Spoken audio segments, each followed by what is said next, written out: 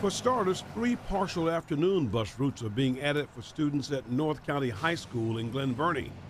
Full service routes will also be in place on Monday for Old Mill High, Old Mill Middle, and five other county schools. It continues to be a very difficult issue for everyone, County school officials say these changes are only a start. but we have been able to uh, free up enough buses through changing routes and changing stops and doing those kinds of things to begin service on 37 routes on Monday. That's certainly good news for those families. Not the total solution that they want or that we want, uh, but certainly good news for them. It's news that's gotten the attention of parents across the district. It does give me hope.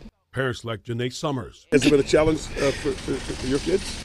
Yes, it has been because they actually like riding the bus. School bus service has even been a struggle for families not directly affected. It's, it's helping everybody because even the kids who are walkers and car riders, you know, if, if they have a bus shuttle 30 kids as opposed to 30 moms and dads who have to scramble to get their kids, it's going to lessen up traffic, be safer. The school system says to stay tuned to even more bus route improvements, which are on the way. Now, to see the list that's being posted for Monday morning, go to our WBAL TV 11 News app. In Glen Burnie, Tim Tooten, WBAL TV 11 News.